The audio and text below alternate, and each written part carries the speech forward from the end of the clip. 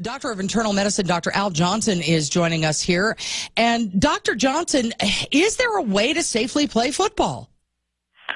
Oh, there is. Um, any sport has its risk to it. And even playing in the backyard has its risk. As we know, a lot of injuries just occur around the home to adults and children.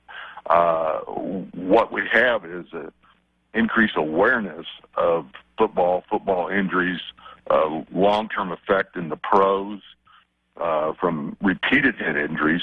And all this is, is good information that the parents can assimilate and evaluate the risk uh, for their children. How high really is is the risk?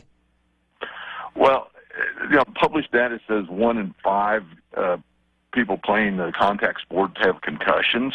Uh, and the initial concussion usually uh, is bad, but it's the repeated concussions that cause the damage.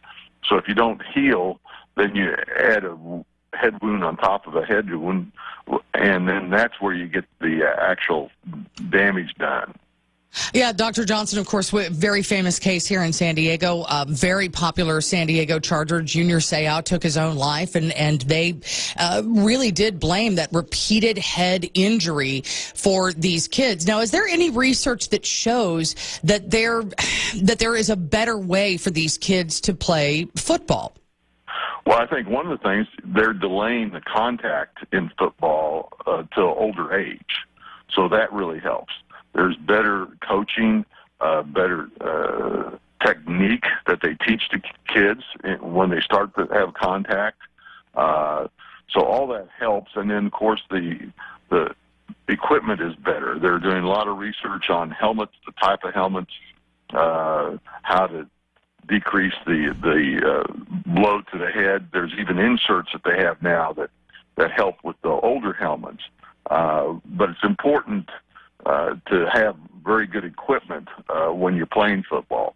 I think some of the concern also is is of the other injuries that can occur, you know, the knee injuries and so forth, that can affect your function the, rest of your life. However, we see from surgery and medicine that our, our repairing of those injuries are, are so much better than they used to be.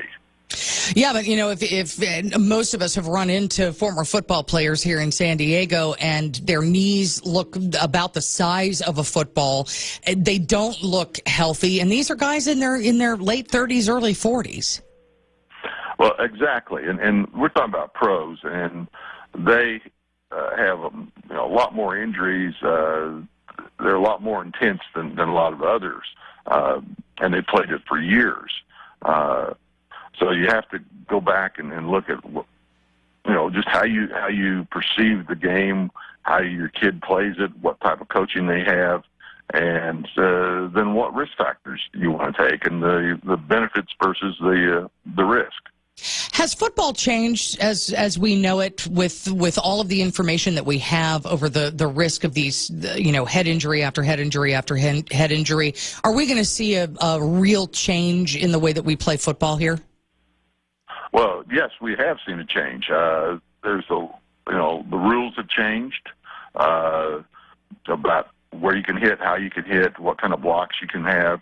Uh, so they they really have. The coaching has changed to that. Uh, there's proper ways to tackle that's less injury prone. Uh, an expert, a medical expert here on the KOGO News Live line with us, a doctor of internal medicine, Dr. Al Johnson. Thank you so much for your time and uh, happy football watching this weekend. Oh, my pleasure. Thank you.